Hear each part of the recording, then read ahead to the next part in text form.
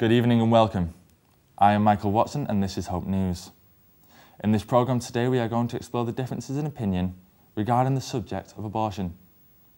With current issues such as the 24-week limit and mothers' rights, we felt it was important to give you both sides of the story and let you as the viewers decide for yourselves whether you agree or disagree with the current argument of abortion.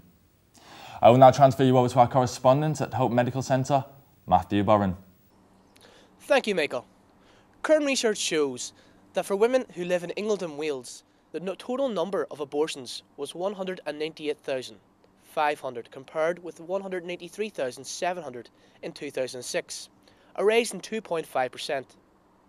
The age standardised abortion rate was 18.6 per 1,000 resident women aged 15 to 44, compared with 18.3 in 2006.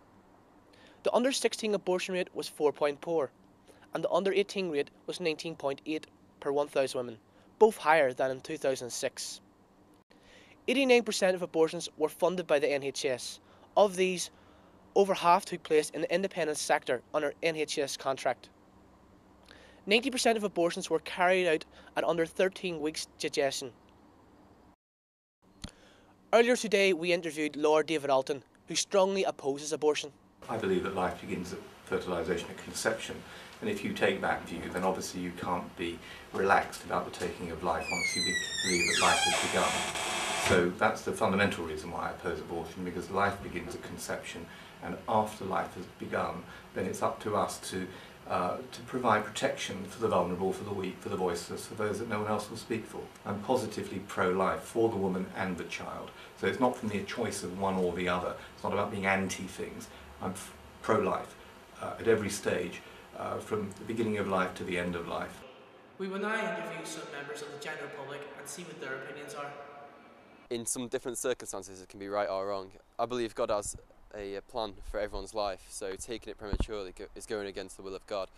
However, in cases such as rape, I, I believe it could be the right thing to do. Abortion can only truly be understood by the individual because they're- they're the only ones who can actually understand the physical, emotional, and psychological pain that can come from it.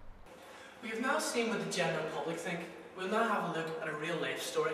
When I was um, 18, not long after I'd finished um, at college, I found out that I was pregnant. Um, and it, it was a bit of a, well, it was a shock for both me and my boyfriend. Um, and we didn't really know what to do, but I suppose that we always had like the usual excuses that we didn't have any money. Um, we were both living at home with our parents. Um, and we just kind of didn't feel old enough to be able to be responsible for um, another life. So I really didn't think that I had any other choice apart from to, to have an abortion. Um, so we went ahead and I, although I didn't really suffer any any physical pain, um, definitely there was a lot of an em emotional pain. Um, and I don't really remember because I had so many painkillers. Um, I don't really remember much of, of the actual event, um, but I do remember that the nurse, when they were doing the ultrasound, asked me if I wanted to to to see the baby, and I can't remember if if I said yes or no, but I do. I know that I saw it, and it was kind of at that point where it all became a bit real for me, and I realised that this was a, a life In conclusion, we cannot say if abortion is right or wrong. We can only give you the information for you to decide for yourselves. Thank you. I'm Matthew Boren. Good night.